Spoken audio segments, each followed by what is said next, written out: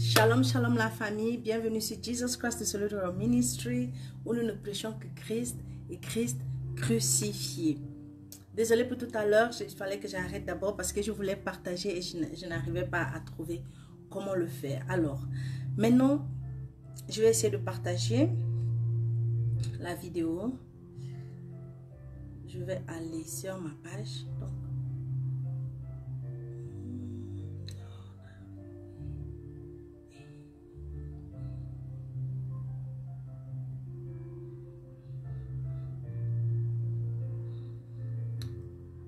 Ça prend du temps. Je sais pas.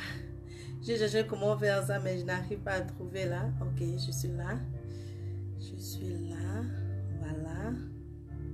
C'est maintenant que le live arrive. Ok, maintenant je peux partager. Je vais partager. Voilà. Mhm. Maintenant je peux partager directement.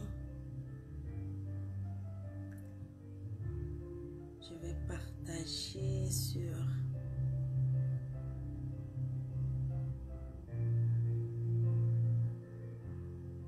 non euh,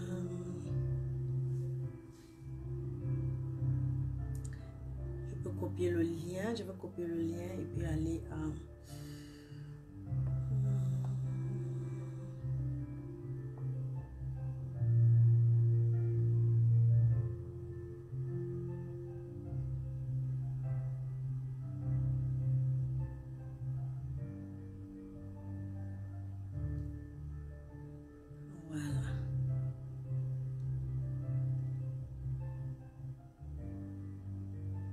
Et ah, ça prend du temps, excusez-moi, mais il faut que je sais apprendre à faire toutes ces choses-là.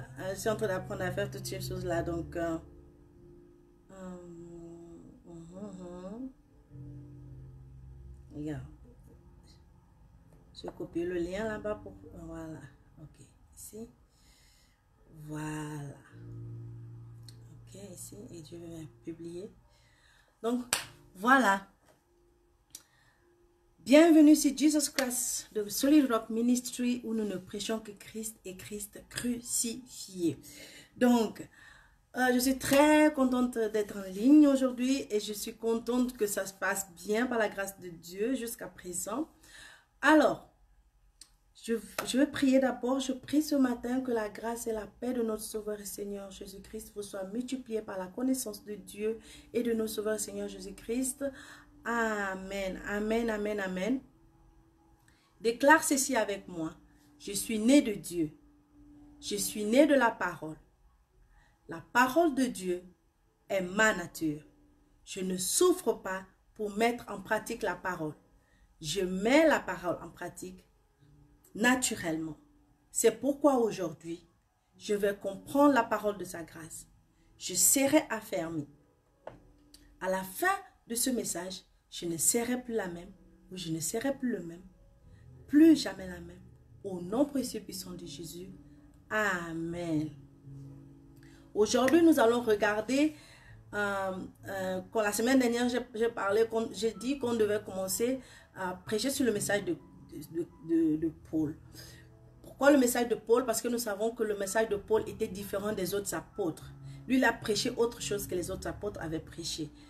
Le, les autres apôtres avaient prêché sur la base de, de l'étude biblique que Jésus leur avait donnée. Et Paul est venu longtemps après les apôtres. Et, Paul n'a pas assisté à cet enseignement biblique que Jésus avait donné. Donc, Paul est venu avec un autre enseignement, une autre façon de faire que les autres ne savaient pas. C'est pourquoi la semaine dernière, nous avons parlé, la dernière fois, nous avons parlé de Apollos, de ce qu'Apollos prêchait et, et ce que Apollos prêchait et ce que euh, l'enseignement de, de Paul a apporté à Apollos. Voilà. Donc aujourd'hui, nous allons approfondir ce message-là. Nous allons approfondir ce message-là, quel était le message de Paul et quelle est la différence entre le message de Paul et le message de, de Jean-Baptiste. Donc c'est là que nous allons partir et j'espère, j'espère, s'il vous plaît, prenez un bic, prenez une feuille, prenez quelque chose, prenez des notes. Et si vous avez des doutes, que vous avez des questions, s'il vous plaît, ne vous gênez pas, posez-les. On va chercher les réponses ensemble. Ok, Nous commençons dans 2 Timothée 3, 16. La parole de Dieu nous dit, toutes les écritures nous ont été données pour être, pour enseigner, pour convaincre, pour corriger, pour instruire dans la justice. Donc, la semaine dernière, comme je, disais tout à l'heure, que la semaine dernière, nous avons parlé d'Apollos et de ce qu'il enseignait. Donc, lorsque Apollos a croisé les, des enseignants plus raffinés que lui, nous avons vu qu'Aquilas et Priscilla, lorsqu'ils ont entendu Apollos enseigner, ils, lui ont dit, écoute, ce que tu parles, ce dont tu parles là, c'est bon, mais il y a des erreurs, il y a beaucoup de fautes dedans, il faut que tu arrêtes d'abord de prêcher et que tu viennes avec nous. Donc, euh, Apollos, lorsqu'il a vu des, enseignants raffinés qui prêchaient la parole de Dieu, il, a su qu'il fallait que lui, il s'arrête et qu'il les suive. Donc, c'est là que nous sommes. Donc, lorsqu'Apollos a croisé des enseignants plus raffinés que lui, qui prêchaient la vérité, parce que lorsqu'on parle du ministère raffiné, on fait allusion au ministère du Nouveau Testament. Lorsque Apollos a vu des enseignants raffinés qui lui, qui, qui, qui lui donnaient des détails de ce qu'il était en train de dire sans le savoir, il s'est abaissé lui-même et il a arrêté de prêcher. Il est devenu un membre de leur église et c'est assez pour être raffiné, pour être poli, pour être enseigné à nouveau. Il n'a pas dit qui, êtes-vous? Vous ne, vous ne voyez pas comment je suis puissant, que les gens m'écoutent, que les gens me suivent. Qui êtes-vous? Pourquoi vous pouvez m'arrêter comme ça et me dire que ce que moi j'enseigne là, ce n'est pas la vérité? Quand tu as l'orgueil, les gens, quand ils connaissent un peu, ils ne veulent même pas que quelqu'un vienne leur dire que ce que toi tu dis là, c'est faux. Pour ceux qui me suivent il y a quelques années, il y a, longtemps, il y a quelques années, j'avais commencé à faire, l'année dernière, j'avais commencé à faire des vidéos. Mais j'étais obligée d'arrêter parce qu'à un point, j'ai trouvé quelqu'un qui est raffiné, qui m'a dit, mon enfant, arrête, viens d'abord t'asseoir, je t'enseigne. Et à la base de, à la base de cet enseignement-là que j'ai découvert la vérité, c'est pourquoi je reviens vers vous avec de l'information plus détaillée et plus recherchée. Parce que quelqu'un m'a fait asseoir pour me dire non, ce que tu es en train d'enseigner, c'est vrai, mais viens, je vais te raffiner. Et c'est ce qui est arrivé à Apollos. Donc, regardons dans Acte 19, 1 à 3. La parole de Dieu nous dit, la parole de Dieu nous dit, pendant qu'Apollos était à Corinthe, Paul, après avoir parcouru les hautes provinces de l'Asie, arriva à Éphèse. Ayant rencontré quelques disciples, il leur dit, Avez-vous reçu le Saint-Esprit quand vous avez cru? Il lui répondit, Nous n'avons pas même entendu dire qu'il y avait un Saint-Esprit. Il dit, De quel baptême avez-vous donc été baptisé? Et il répondit, Du baptême de Jean. Ce verset 3 parle de l'acte du baptême. Regardons Acte 19, 4. La parole de Dieu nous dit, alors Paul dit, Jean a baptisé du baptême de repentance, disant, au peuple de croire en celui qui venait après lui, c'est-à-dire en Jésus. Suivez-moi doucement à partir d'ici, je vous en prie, parce que c'est très délicat. Ça, c'est une information que vous, n'allez pas écouter souvent. Ça, c'est une information que vous n'écoutez pas souvent. S'il vous plaît, ne me jetez pas d'abord les pierres, écoutez d'abord ce que j'ai à vous dire. Donc, la, parole dit avec le baptême de, de, de repentance, disant. Donc le baptême des gens, ce n'était pas une immersion, mais un enseignement. Le baptême de Jean, ce n'était pas une immersion, mais un enseignement. C'était un enseignement de Jean qui était appelé le baptême de Jean. Alors, lorsque Paul parle ici disant, Jean a baptisé du baptême de repentance, disant, cela veut dire que le baptême de Jean n'était pas un acte, mais un enseignement. J'espère que vous me suivez. J'espère que vous me suivez. Il dit, Jean a baptisé disant, c'est que Jean a prononcé des mots de sa bouche. C'est comme s'il disait, Jean a enseigné, Jean a dit, Jean a parlé, Jean a révélé, Jean a parlé de sa bouche. Donc, il a enseigné dix ans, c'est qu'il a utilisé sa bouche pour dire quelque chose. Il a utilisé sa bouche pour dire quelque chose. Donc, le baptême de Jean, c'est pas l'immersion dans l'eau. C'est un enseignement. C'est un enseignement. Puis suivant. J'espère que vous me suivez. Donc, ce dont Paul parle dans Acte 19, 4, c'était un enseignement, pas un acte. Pouvons-nous dire que ce dont Paul est en train d'expliquer dans Acte 19, 4, c'est ce qu'Apollos était en train de faire dans Acte 18 Parce que nous savons que dans Acte 18, Apollos était en train d'enseigner de, de, Jésus. Il était en train de parler de Jésus. Mais ce dont il savait seulement, c'était le baptême de Jean. Et c'est ce dont nous allons parler là. Il était puissant. Apollos était puissant dans les Écritures, mais ne connaissait que le baptême de Jean. C'est ce que Acte 18 nous dit. Apollos était puissant dans les Écritures, mais il ne connaissait que le baptême de Jean. Il n'enseignait que le baptême de Jean. Donc cela veut dire que ce qu'Apollos enseignait, c'était appelé le baptême de Jean. Pas un acte, pas une immersion, mais un enseignement. Maintenant, nous allons chercher à comprendre quels sont les détails de l'enseignement appelé le baptême de Jean. Suivez-moi. C'est à cause ça que je vous ai dit au début. Prenez un bic, prenez une feuille, notez. Il y a une pratique du baptême de Jean. Le baptême que Jean a fait. Et il y a le baptême de Jean, qui est un enseignement. La pratique que Jean a faite, c'était une pratique de l'Ancien Testament.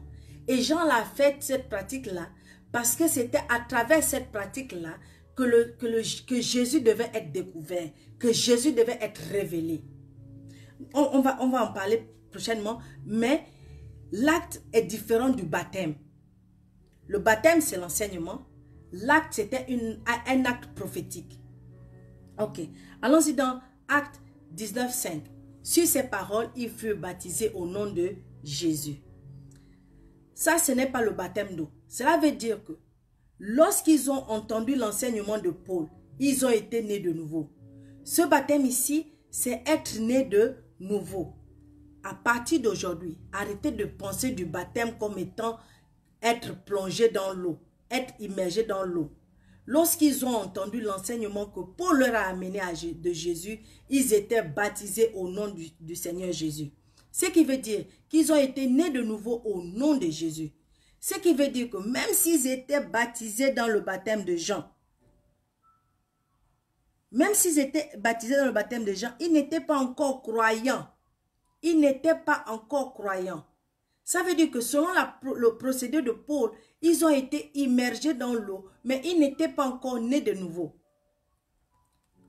C'est lorsqu'ils ont entendu le message de Paul qu'ils ont compris.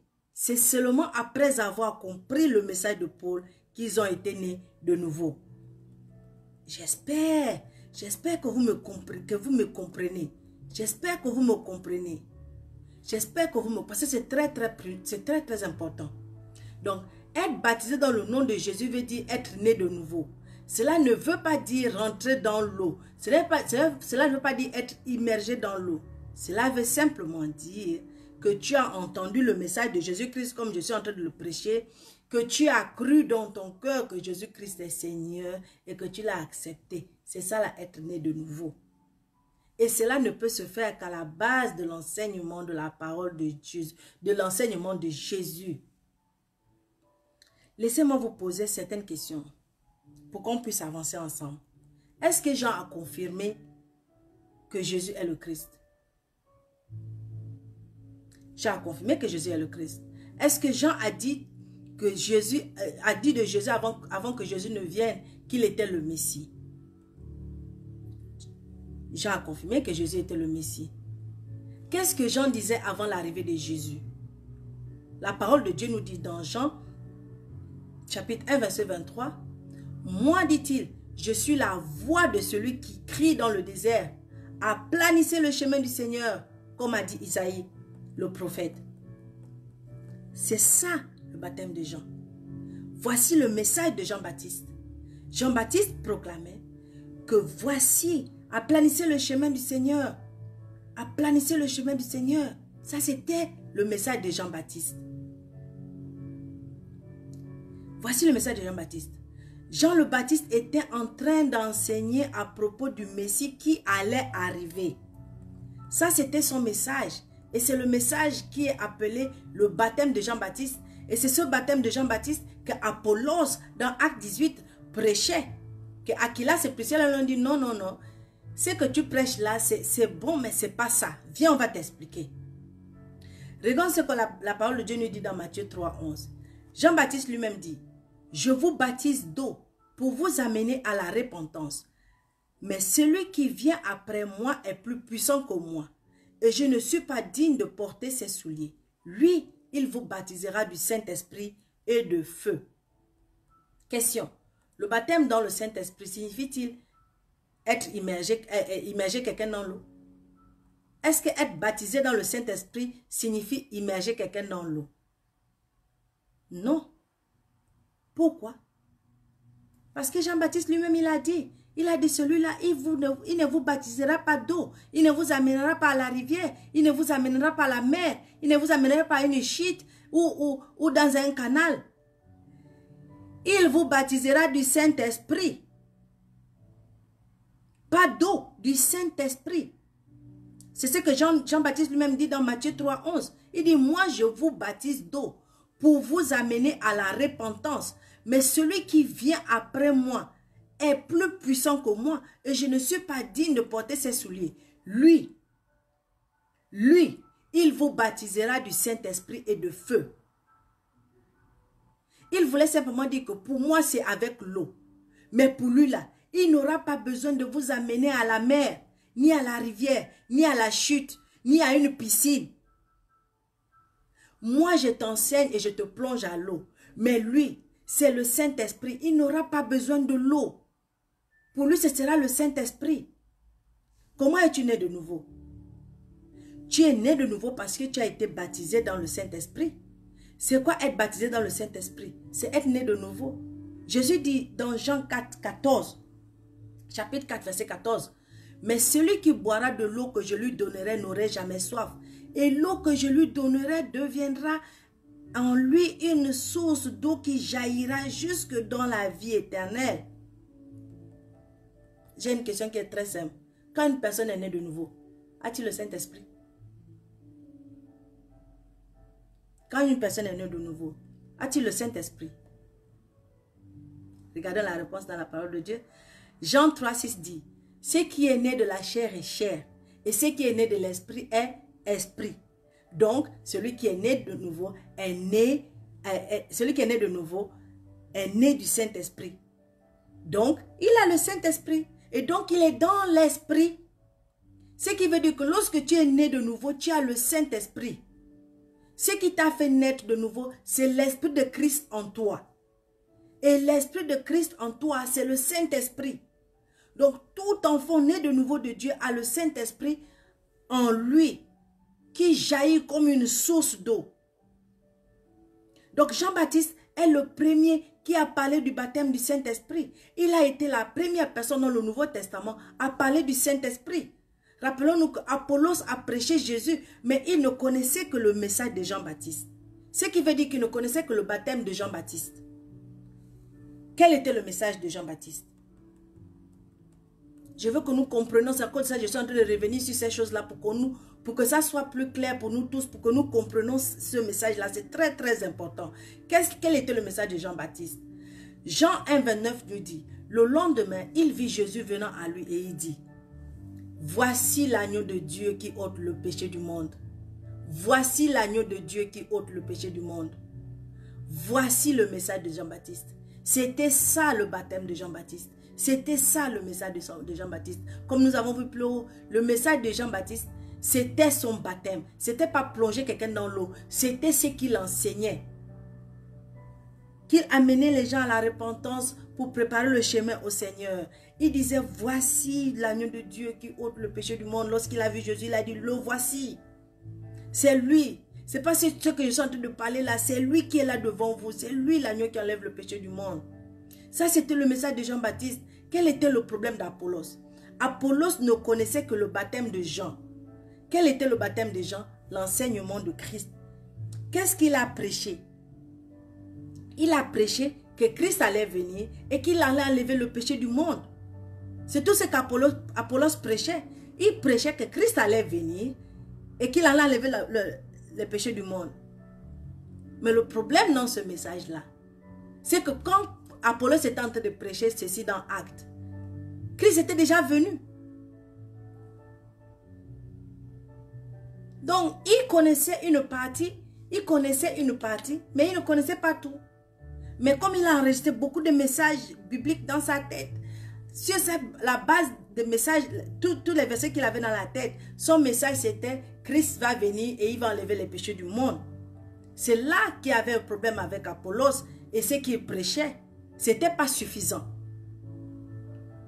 Alors, Akilas et Priscilla lui ont dit, ce n'est pas tout. Il y a d'autres détails que tu oublies. Il y a d'autres détails que tu ne connais pas. Viens. Viens avec nous. Regardons ce qui s'est passé lorsqu'il a fallu trouver quelqu'un qui devait remplacer Jésus. Euh, qui devait remplacer Judas. Excusez-moi, qui devait remplacer Judas après que Judas s'est suicidé. Acte 1, 29, 1, 21 nous dit, il faut donc que parmi ceux qui nous ont accompagnés, tout le temps que le Seigneur Jésus a vécu avec nous, ça, c'était la qualification de l'homme qui, qui, devait remplacer Judas après la mort de, de, Judas. Parce qu'après la mort de Judas, il restait seulement 11 apôtres. Donc, après la mort de Judas, il fallait que quelqu'un vienne remplacer Judas. Donc, ça sont les qualificatifs que le reste des apôtres ont mis en place pour trouver quelqu'un qui devait remplacer Judas. Donc, il fallait que cette personne-là, parmi ceux qui nous accompagnaient tout le temps que, Jésus, le Seigneur Jésus a vécu avec nous. Donc, il fallait que la personne là les a accompagnés. Qu'il a, donc, qu'il a vécu avec eux pendant que Jésus vivait, qu'il les a accompagnés. Que lorsque Jésus est mort, qu'il est ressuscité, que la personne était toujours avec eux. Que cette personne-là a suivi l'étude biblique que Jésus avait donnée de 40 jours. Que cette personne-là était là et qu'il a vécu toutes ces choses-là. Et le deuxième critère, c'est dans Acte 1, 22, la parole dit, depuis le baptême de Jean. Donc, depuis que Jean a baptisé euh, euh, euh, Jésus et que la colombe est venue sur Jésus, depuis ce jour-là, donc, jusqu'à la, la, résurrection de Jésus, et jusqu'au baptême, et jusqu'à lorsque les apôtres ont commencé à marcher, à aller prêcher la parole sur la base de l'enseignement biblique que Jésus leur avait donné. Voilà les critères. Donc, acte 1 venu dit, depuis le baptême de Jean jusqu'au jour où il a été enlevé du milieu de nous, il y en a un qui nous soit associé comme témoin de sa résurrection. Ce qu'il voulait dire, c'est que la personne qui serait capable de remplacer Judas Iscariote après sa mort devait être quelqu'un qui a écouté l'enseignement de Jean et a été aussi témoin du baptême de Jésus et a suivi les enseignements de Jésus jusqu'après la résurrection. Et encore, ils ont utilisé le baptême de Jean-Baptiste ici. Et le baptême de Jean-Baptiste était utilisé ici comme un acte comme un enseignement et comme la qualification de la personne qui devait remplacer Judas parmi les apôtres. Quelle était la mission de Jean-Baptiste? La mission de Jean-Baptiste, étant prophète, était de pointer vers Jésus. C'était un prophète. Sa, mission était de venir révéler Jésus aux gens pour dire que voilà celui qu'on on attend. C'était pour mettre en pratique une prophétie qui, qui avait déjà été prophétisée dans l'Ancien Testament. Et lui, son rôle était de pointer les gens vers Jésus. Voilà la mission de Jean-Baptiste. On n'a jamais demandé à Jean-Baptiste de baptiser tout le monde. Ça, ça n'était pas sa mission. Sa mission n'était pas de venir baptiser tout le monde. Sa mission était de baptiser Jésus. Sa mission était de baptiser Jésus. Il avait deux choses très importantes à faire. La première était de pointer Jésus pointer les gens vers Jésus. La deuxième était de baptiser Jésus. Donc, parce que sa mission était de pointer vers Jésus. Pourquoi? Parce qu'il était un prophète. Et parce qu'il avait une prophétie qu'il y avait que lorsque celui, le Messie sera baptisé, une colombe, l'Esprit tombera sur lui comme une colombe. Et celui sur qui l'esprit tombera comme une colombe, lui là est le Fils de Dieu. Donc pour confirmer cette prophétie, Jean-Baptiste a été envoyé pour baptiser Jésus. C'est pourquoi, pour l'accomplissement de cette prophétie, en ce jour auquel Jésus a été baptisé, un esprit est descendu sur lui comme une colombe pour accomplir la prophétie. Et lorsque cela a été accompli, le ministère de Jean-Baptiste était fini. Ça, c'était la fin de son ministère. Il a fini son ministère comme ça. Il devait, lorsque Jésus est sorti de l'eau, il pouvait enlever sa robe là pour dire, bon, maintenant, je vais aller me marier, je vais avoir les enfants, je vais faire ma vie. Son ministère était fini. Ou simplement, il aurait dit, ok, mon ministère est fini, je prends mes bagages, je vais suivre Jésus, parce que lui maintenant, c'est lui qui va prendre le relais. C'était tout. Mais Jean-Baptiste n'a pas fait ça. Comment nous savons que le ministère de Jean-Baptiste était fini? Nous savons que le ministère de Jean-Baptiste était fini, c'est qu'après cela, il a commencé à s'occuper des choses politiques. Nous savons, nous avons en Afrique aussi ce genre de, pasteurs là ou de, chrétiens qui après un certain temps, ils n'ont plus de motivation, ils ne veulent plus, euh, comment on appelle, ils n'ont plus de, l'envie euh, euh, de, rester à l'église, de prêcher la parole de Dieu. Ils cherchent d'autres moyens pour devenir riches ou je ne sais pas quelles sont, leurs raisons. Ils arrêtent tout et ils se tournent vers la politique ils veulent devenir président, ils veulent devenir ministre, ils veulent devenir quoi? Et c'est ce que Jean a oublié. Jean a fini son, il a, il a oublié qu'il a fini son ministère et qu'il était temps pour lui de passer à autre chose. Et la chose la plus sage qu'il aurait pu faire, c'était de dire, bon, que mon ministère est fini, je prends mon bagage et puis je suis Jésus. Il n'a pas fait ça. Il est rentré dans les choses politiques. Il a commencé à critiquer Hérode. Et quand l'autre l'a attrapé, on l'a jeté en prison. Il a été jeté en prison. Il a été jeté en prison. Hérode l'a attendu. Il a jeté en prison. Mais Jean, étant en prison, au moment où il est en prison, il entend que le type que toi tu as introduit là, ce Jésus-là, mais le type il est devenu puissant. Il est devenu puissant. Si tu entends ce qu'il fait, non, tu vas pas croire. Le type est devenu trop puissant. Jean en prison, il est en colère. Il dit, mais attends, mais comment ça? C'est moi qui l'ai introduit. Lui, il sait que moi, je suis en prison. Pourquoi il ne vient pas me délivrer? Pourquoi il ne cherche pas les moyens de venir me voir? Pourquoi il ne cherche même pas à me voir? Il ne cherche même pas à me voir. Alors, lorsqu'il était en prison, les gens sont venus lui dire que vraiment, je dis, Jésus, là, il est devenu fort. Hein? Nous, on connaît l'orgueil des l'orgueil quand tu, es arrivé quelque part que le petit que toi la personne que toi tu as montré la route on vient te dire que non mais le petit il te dépasse non lui là tu peux même plus lui parler. Si tu vois les miracles que lui fait toi, tu es un petit. L'orgueil a pris Jean Jean a dit mais attendez. Mais lui là il se prend pour qui? C'est moi qui l'ai présenté au monde. Il ne peut pas venir me délivrer. S'il est aussi fort comme il dit pourquoi il ne veut pas me délivrer? Avec tout, cet orgueil-là. Tout cette, comment appelle L'assurance que moi, je suis un prophète appelé de Dieu. Regarde ce que moi j'ai fait pour Dieu. Voilà ce que j'ai fait, voilà ce que j'ai fait. Et puis lui, il ne me respecte pas. Il a demandé à ses, disciples, allez-y lui demander, est-ce qu'il est vraiment celui qui devait venir?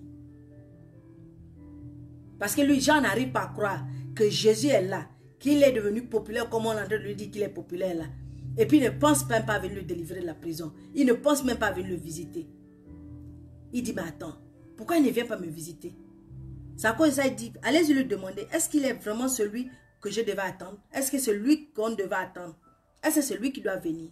Pendant que lui-même, il a vu la prophétie s'accomplir devant ses yeux. Il a vu la, la excusez-moi, il a vu la, prophétie se réaliser devant ses yeux. Mais il a, il a oublié. À cause des événements, il a oublié. C'est à cause ça, il demande à ses, disciples, allez-y lui demander, est-ce que c'est lui qu'on on devait attendre ou, ou on doit attendre quelqu'un d'autre? Est-ce que c'est lui qui devait venir ou on doit attendre quelqu'un d'autre? Pourquoi? Parce qu'il ne pouvait pas comprendre pourquoi Jésus ne voulait pas venir le délivrer de la prison. C'est là que Jésus a dit, comme il doute de moi, venez voir, Lisons Luc chapitre 7, verset 18 à 35. C'est une longue lecture, mais très importante. Jésus dit donc, un jour Jésus enseignait, des pharisiens et des docteurs de la loi étaient là assis, venus de tous les villages de la Galilée, de la Judée et de Jérusalem. Et la puissance du Seigneur se manifestait par, des guérisons. Et voici des gens portant un lit, portant sur un lit un homme qui était paralytique cherchait à le faire entrer et à, le placer sous ses regards. Comme ils ne savaient pas où l'introduire à cause de la foule, ils montèrent sur le toit et le descendirent par une ouverture avec son lit au milieu de l'assemblée devant Jésus. Voyant leur foi, Jésus dit, Homme, tes péchés te sont pardonnés. Les scribes et les pharisiens se mirent à raisonner et à dire, Qui est celui-ci qui, profère des blasphèmes? Qui peut pardonner les péchés si ce n'est Dieu seul Jésus, connaissant leurs pensées, la parole et leur dit, Quelle pensée avez-vous dans vos cœurs? Lequel est le plus aisé de dire, Tes péchés te sont pardonnés, ou de dire, Lève-toi et marche. Or, afin que vous sachiez que le Fils de l'homme a sur la terre le pouvoir de pardonner les péchés, je te l'ordonne, dit-il au paralytique, Lève-toi, prends ton lit et va dans ta maison. Et à l'instant, il se leva en leur présence, prit le lit sur lequel il était couché et s'en alla dans sa maison, glorifiant Dieu. Tous étaient dans l'étonnement et glorifiaient Dieu. Remplis de crainte, il disait, nous avons vu aujourd'hui des choses étranges. Après cela, Jésus sortit et il vit un publicain nommé Lévi, assis au milieu des, des péages. Il lui dit, Suis-moi. Et laissant tout, il se leva et le suivit. Lévi lui donna un grand festin dans sa maison. Et beaucoup de publicains et d'autres personnes étaient à, table avec eux. Les pharisiens et les scribes murmurèrent et dirent à ses disciples, Pourquoi mangez-vous et buvez-vous avec les publicains et les gens de mauvaise vie? Jésus prenant la parole leur dit, Ce ne sont pas ceux qui se portent bien qui ont besoin de médecins, mais les malades. Je ne suis pas venu appeler à la repentance des justes, mais des pécheurs. Je voulais m'arrêter ici parce que je voulais éclairer un peu une petite chose. D'abord, je suis gabonaise de base. C'est la base. Alors, lorsqu'on a, légalisé l'homosexualité au Gabon, beaucoup de gens se sont sentis frustrés.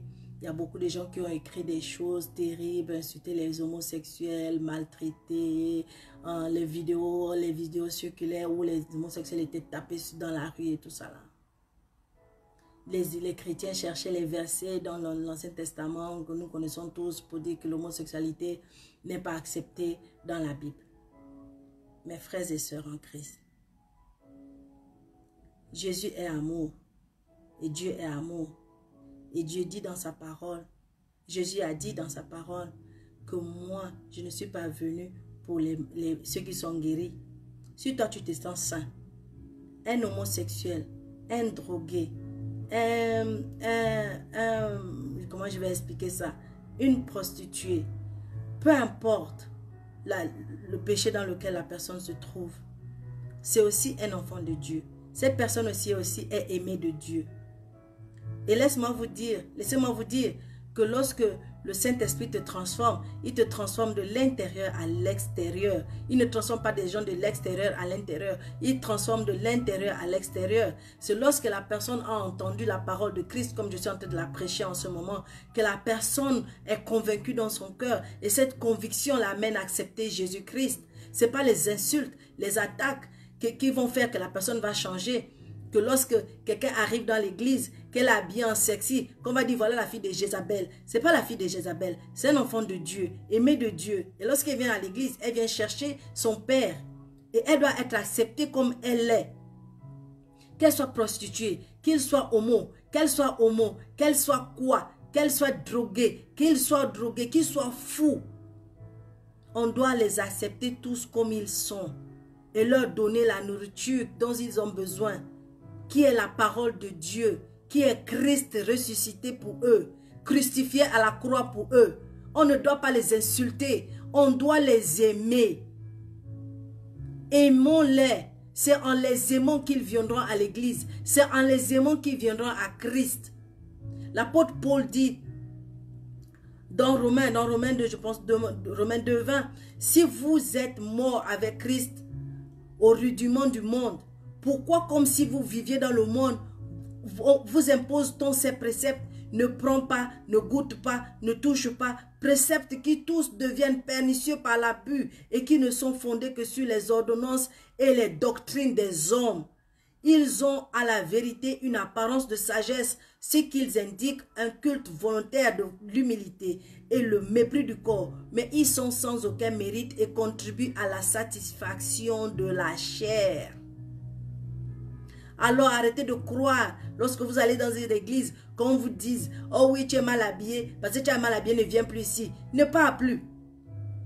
Oh oui, si tu ne t'habilles pas de la tête au pied, si tu ne couvres pas tes cheveux avant de prier, tu, es un pécheur ou tu es, une Jézabel. Si tu ne portes, portes, pas une robe qui balaye le sol, tu es une Jézabel. Si tu ne portes pas une jupe qui balaye le sol, tout ça là, c'est du n'importe quoi. Ça n'a rien à voir avec ta vie spirituelle et ça n'a rien à voir avec ton entrée au paradis. Je t'assure.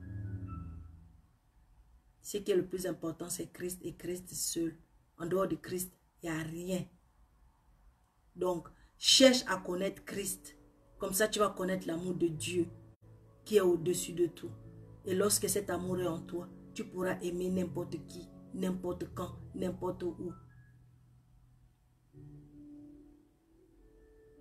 Aimons-nous vivants. Alors, je continue dans ma lecture. C'était une parenthèse parce que le Saint-Esprit m'a mis ça à cœur. Je me suis dit, il fallait vraiment que je revienne là-dessus. Nous étions en train de lire Luc 7, verset, euh, chapitre 7, verset 18 à 35. Et nous allons à verset 38.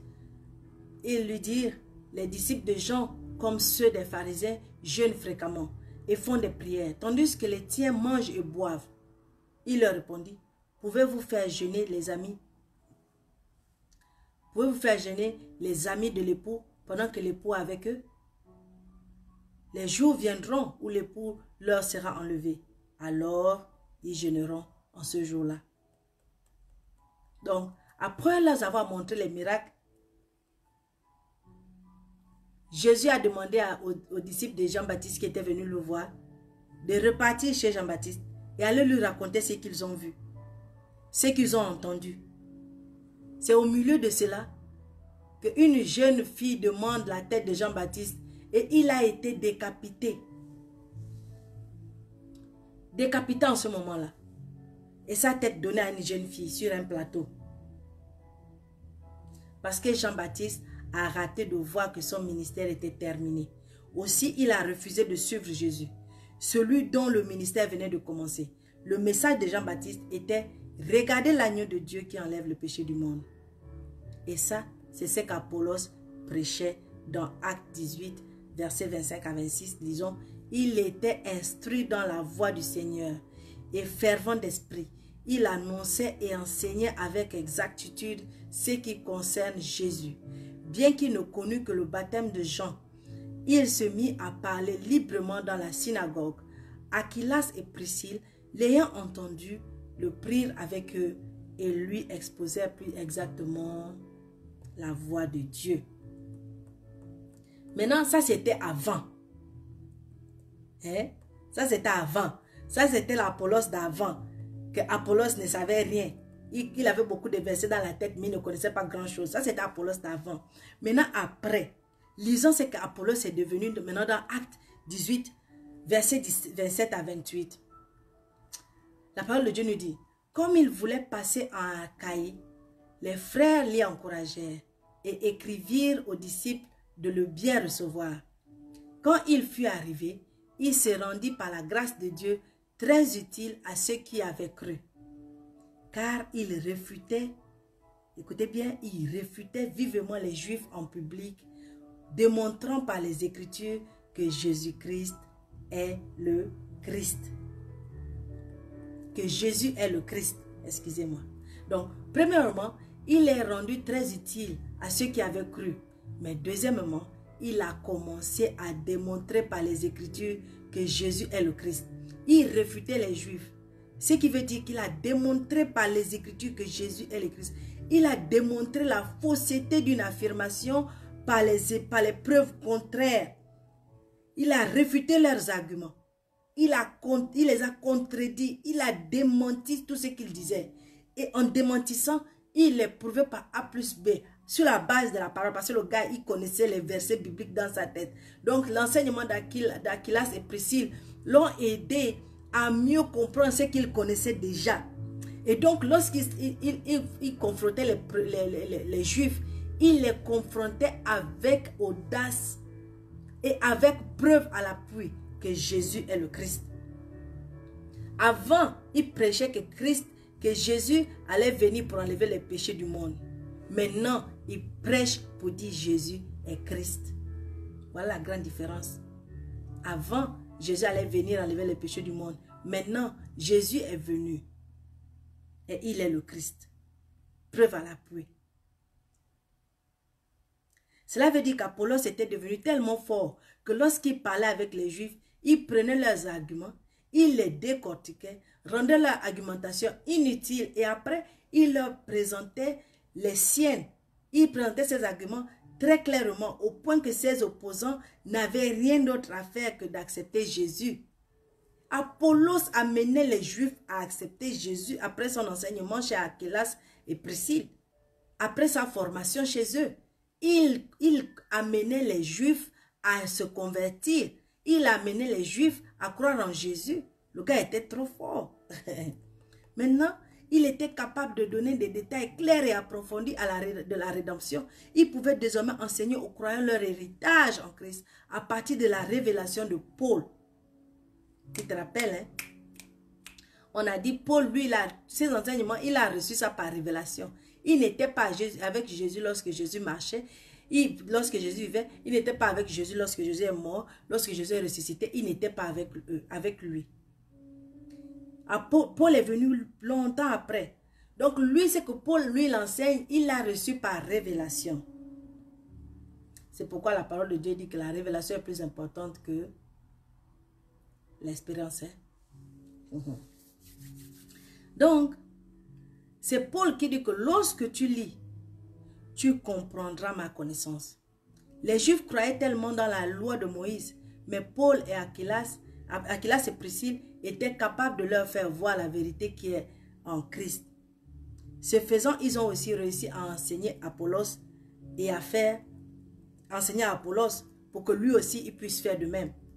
Donc dans Acte 11, il y a quelque chose qui s'est passé. Il y avait une grande discussion. La grande discussion, c'était quoi? La grande, discussion, euh, la grande discussion avait commencé parce que Pierre était parti prêcher aux gentils.